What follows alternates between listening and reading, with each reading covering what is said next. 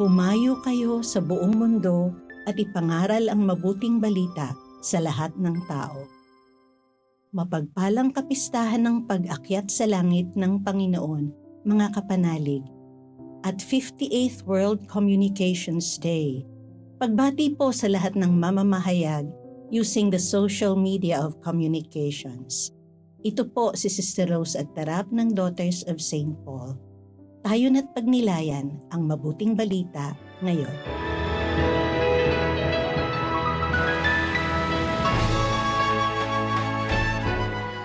Sinabi ni Jesus sa mga alagad, Pumunta kayo sa buong daigdig at ipahayag ang ebanghelyo sa buong sangkinapal.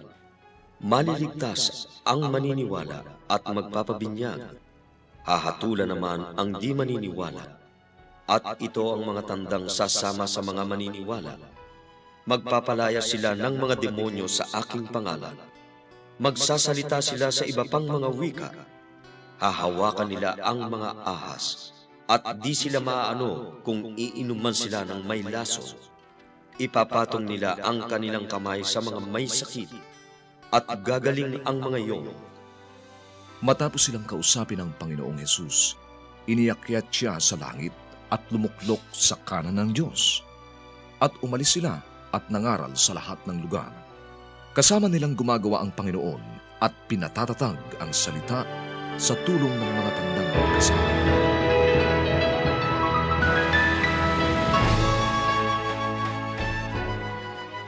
Sa ating mabuting balita ngayon, napakinggan natin kung papaano kinatagpo ni Jesus ang kanyang mga alagad sa Galilea at inatasan sila. Umayo kayo sa buong mundo at ipangaral ang magandang balita sa lahat ng tao. Sa Galilea sila unang tinawag, sa Galilea din sila isinusugo. Mga kapatid, ang tawag sa simbahan ngayon ay ang New Evangelization.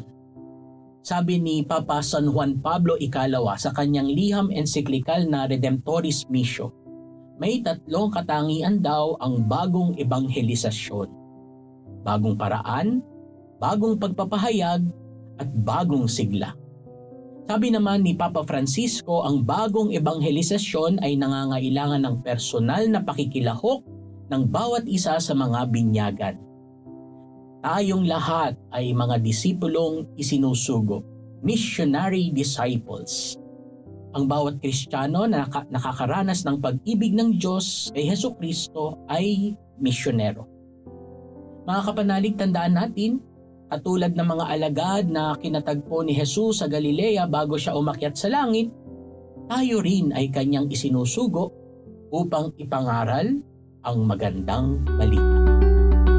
Mga kapanalig, support our Pauline's mission. Subscribe, like, and follow Paulines on our social media accounts.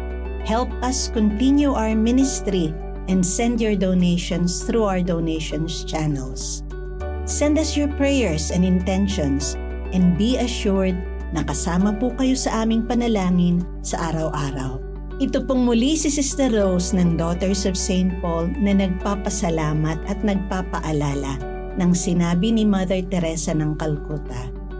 If you ever feel distressed during the day, call upon Our Lady. Just say, Mary, Mother of Jesus, please be a mother to me now.